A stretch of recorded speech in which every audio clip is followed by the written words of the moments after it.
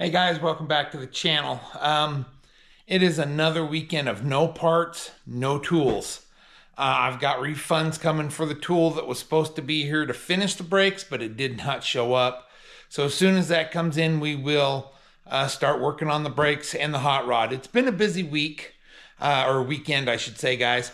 Um, my big white uh, GMC blew a lower radiator hose. So uh, part of Saturday was working on that just to get it into town.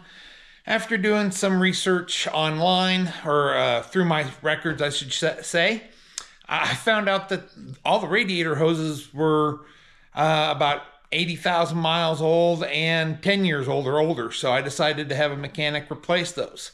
Not that I can't, but uh, there's a winter storm warning coming in, guys. It's bitterly cold out here in, in, in Utah. Um, so I, instead of me crawling around on the floor and the ground trying to get that done this uh, week, I'm going to have someone do it for me that's got a lift and can do it real quick.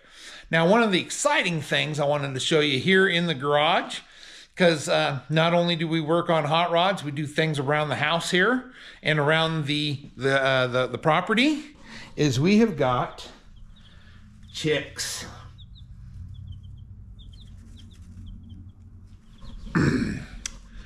Those are called golden comets. So um, we'll, we'll let you know how those work uh, while I get my head back in the frame because it is a big noggin. So uh, we've got chicks here. Um, we'll let you know more about those as we go.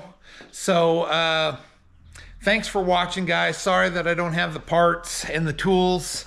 Um, and like I said, part of the, the day uh, wasn't so much working on the the pickup that I have to even show you that content. It was waiting on a wrecker to come get it to move it so we could work on it, and that just that didn't happen one way.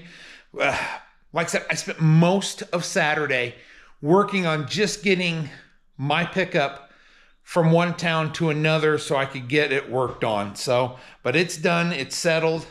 Um, we were doing some work out here on the garage, cleaning things up. So uh, we should be ready for next week. Uh, I'm going with a different supplier for the tool to work on that. Um, uh, it's it's a it's a ten dollar tool and it's it's what I need, but like I said, sometimes it's just it's tough getting that stuff out. So, um, yeah, um, hopefully the weather gets better out here. Uh, I'll show you uh, the chicks as they grow up for the next uh, about oh two months.